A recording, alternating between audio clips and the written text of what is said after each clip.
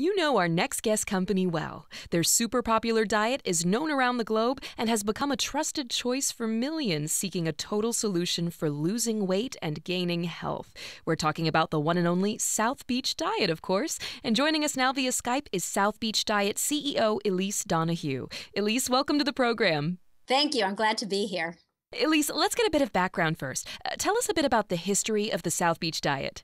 South Beach Diet was created by Dr. Arthur Agatston. He's a world renowned cardiologist and he practices with heart patients. He actually practices medicine in South Beach, Florida.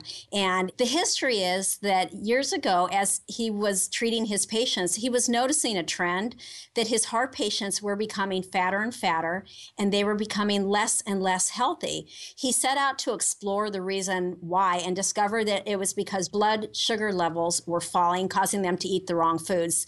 So he developed an eating plan, and his patients found it to be so successful. They lost weight and they kept the weight off. They said, Dr. Agatston, you have got to put this down on paper and share it with the rest of the world. That is how South Beach Diet, as we know it today, began. And here we are 10 years later celebrating our 10th anniversary.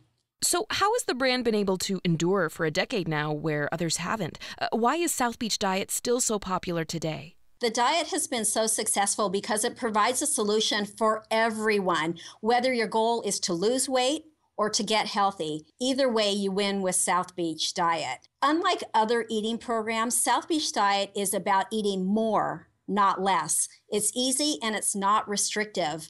It's about eating the right foods. And we want you to eat a lot of right foods. So South Beach arms you with the information so that you can make the right choices and lose weight and keep it off. Now, surprisingly, a big component of the South Beach diet is snacking.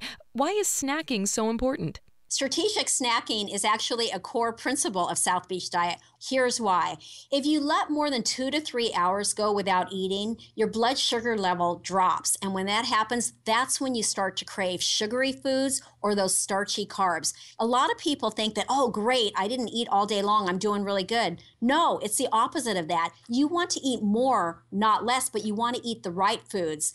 The way that you do this is you have to arm yourself with these snacks before you walk out the door in the morning. And at South Beach Diet, we make that easy. We have formulated a line of bars and smoothies that you can carry with you when you're on a plane, in an airport, or, or off to work.